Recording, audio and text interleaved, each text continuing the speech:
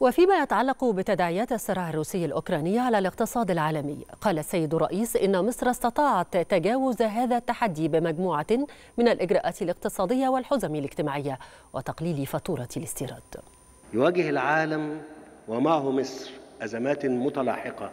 على الصعيد الاقتصادي كان مبتداها الآثار التي خلفها انتشار جائحة كورونا.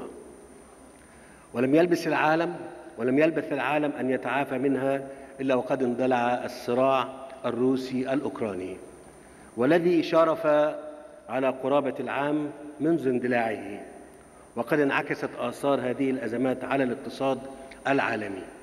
بآثار لم تكن مصر منها ببعيد إلا أننا بفضل الله وبقدرات المصريين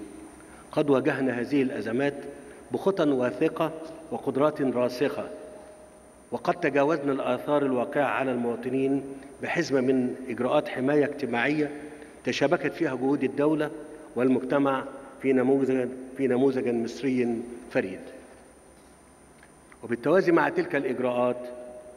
تنفذ خطة إجراءات اقتصادية على مستوى الدولة قائمة على توطين الصناعة وتقليل الفاتورة الاستيرادية وجذب الاستثمارات المباشرة